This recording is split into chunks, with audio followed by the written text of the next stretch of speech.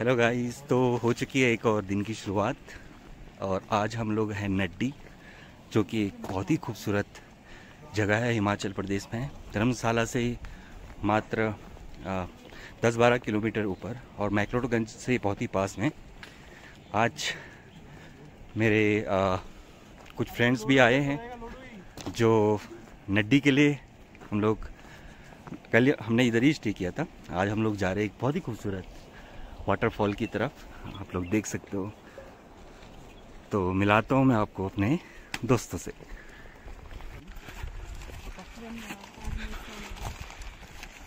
तो ये हमारी टीम जो आज ट्रैकिंग पे है विजय भाभी धूर दूसरी भाभी। और हम लोग जा रहे हैं पहाड़ों नड्डी के वाटरफॉल में। तो मिलते हैं आप लोगों को।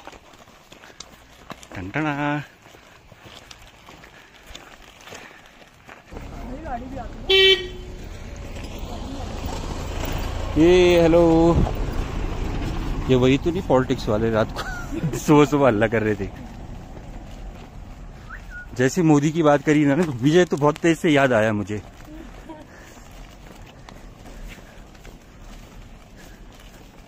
गाड़ी में अभी कर रहे पेट्रोल की टंकी फुल करवा रहे क्यों मैं सौ रुपये से ऊपर पहुँचा दिया कब का। है? खैर दो सौ रुपये लीटर हो जाए? दूँगा वोट बीजेपी को ही।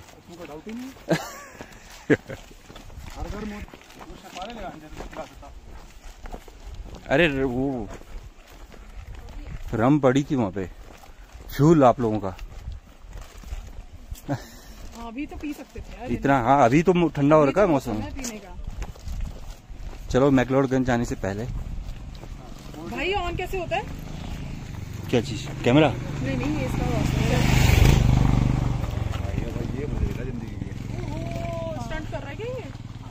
ये ऐसी करके आया था। इसका भी अलग ये ये अलग पूरे टाइम एडजस्ट करती रहूँ। I can't be like this क्या ये? अगर रिलेशनशिप इतना हो गया हमारा टाइम और हो गया।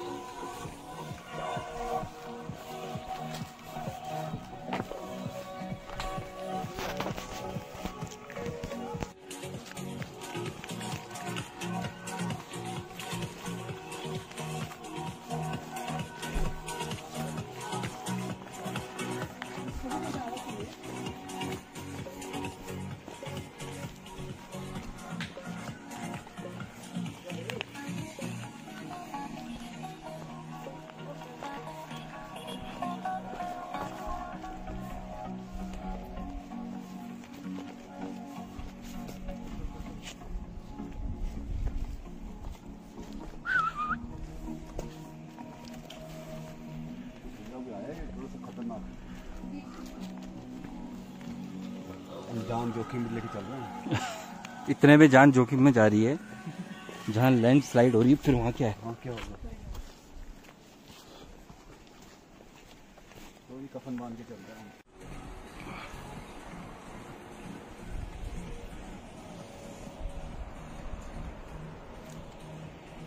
देखो दोस्तों रोड ट्रैक का कितना बुरा हाल है। बारिश की वजह से मिट्टी मिट्टी और उसके बाद लैंडस्लाइड जो कि हम लोग लगातार इतने दिनों से सुनते आ रहे हैं हिमाचल प्रदेश में लगातार लैंडस्लाइड की वजह से। बहुत नुकसान बहुत नुकसान हो रहा है। उसी का एक एग्ज़ाम्पल आप लोगों के सामने।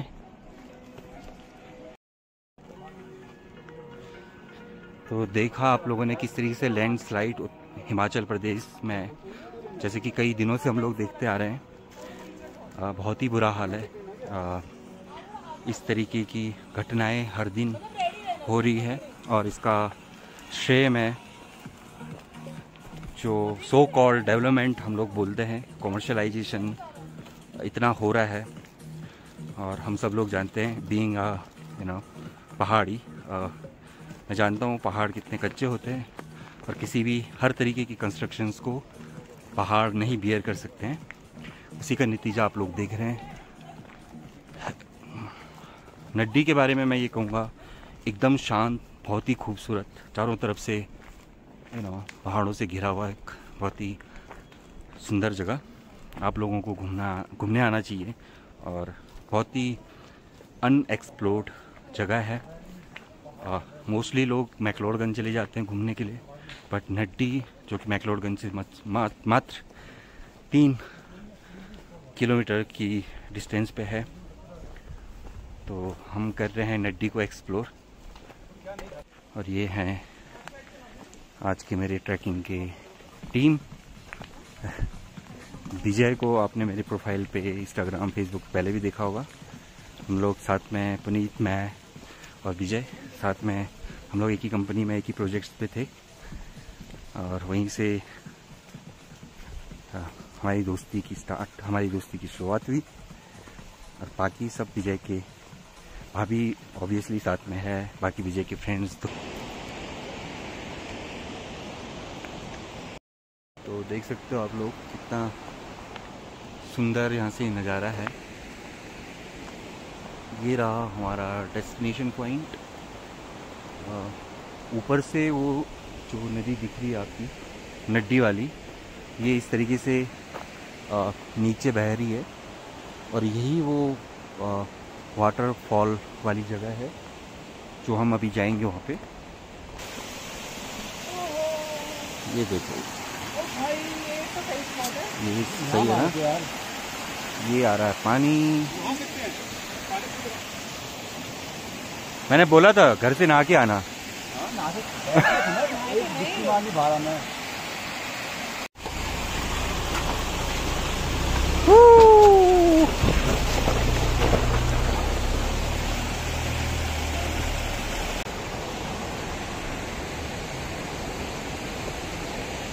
देखो ये वाली ना बिच्छू घास है। इस पे जितना तेज दर्द होता है कहते हैं उतना ही पेन बिच्छू के काटने से होता है। ये हाँ। ये पहाड़ों में ही होता है। बिच्छू घास बिच्छू घास। इसकी आपको चटनी खाने को मिलेगी, बहुत सारी चीज़ें बनती है। सब्ज़ी। नहीं, आप हाथ लगाओगे तो एकदम क्या बोलते हैं उसको, सूजन स्वेलिंग सब हो जाएगी एक साथ। और बहुत पेन होता है। इसलिए इसका नाम बिच्छू घास है। उत्तराखंड में भी बहुत मिलता है।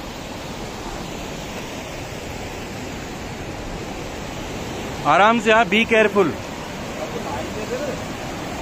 don't be so excited ये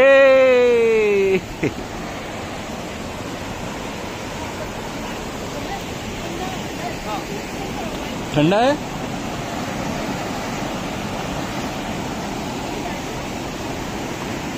हाँ भाई। हाँ भाई।